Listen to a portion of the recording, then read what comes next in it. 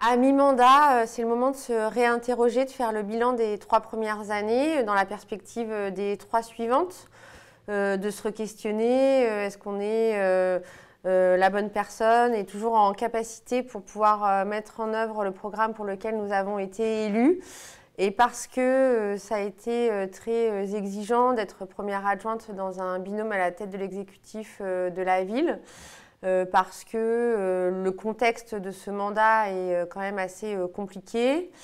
parce que effectivement j'ai pu avoir des, attentes et, des souhaits et me confronter à la réalité euh, de l'exercice de cette fonction. Et donc, euh, pour redonner un, nouveau souffle, euh, de nouvelles énergies à mi-mandat, c'est la décision que je prends. Ça a été un apprentissage, une expérimentation, une, découverte, avec effectivement bah, ses avantages et ses inconvénients.